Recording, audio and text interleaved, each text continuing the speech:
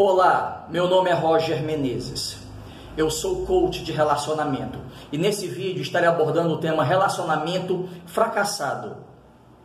Mas antes quero dizer que aqui logo abaixo, nas descrições desse vídeo, tem um link especial que dá acesso ao e-book grátis A Chave da Sedução. Com esse e-book você vai conseguir conquistar qualquer tipo de mulher e não apenas isso, mas a se tornar o homem ideal para toda a sociedade, não apenas para elas. E-book A Chave da Sedução vale a pena conferir. Olha, existem dois tipos de relacionamento fracassado. Aquele em que o homem e a mulher continuam juntos e aquele que eles se separam, onde há separação. Qual dos dois é pior? Todos os dois são ruins.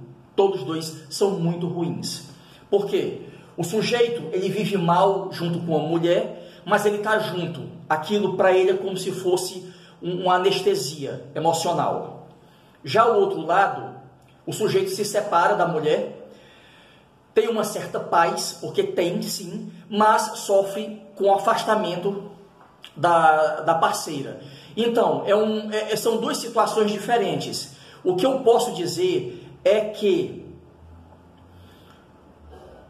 relacionamento fracassado ele deve ser trabalhado da melhor forma possível. Como? Através da consciência. O sujeito ele tem que ter consciência de que aquele é, relacionamento ele fracassou, ele faliu, ele não existe mais, é só uma ilusão.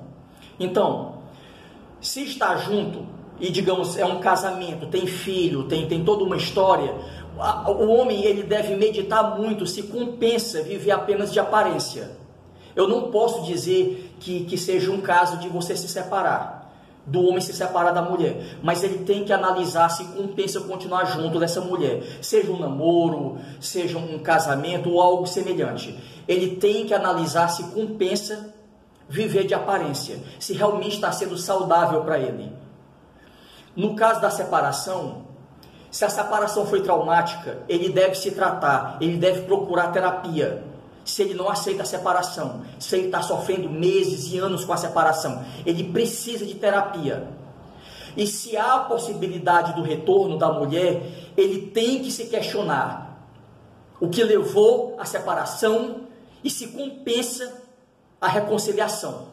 Se realmente compensa voltar para aquela mulher se ele realmente vai esquecer tudo de ruim que ele passou durante o processo da separação. Então, eu como, eu como disse, o, caso, o relacionamento fracassado ele tem duas faces. Ou o homem continua com a mulher, ou o homem se separa, com a possibilidade do retorno da ex. Nos dois casos, ele deve se questionar: compensa estar junto dessa mulher? De um lado, do outro, ele deve se questionar: compensa voltar para essa mulher?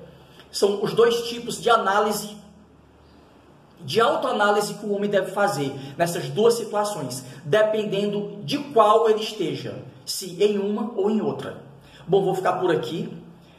Espero que tenham gostado do vídeo de hoje e para aqueles que querem ter uma consulta comigo, aqui logo abaixo, nas descrições desse vídeo, tem o meu número de WhatsApp para maiores contatos. Gente, muito obrigado pela atenção de todos vocês, fiquem com Deus e até o próximo vídeo.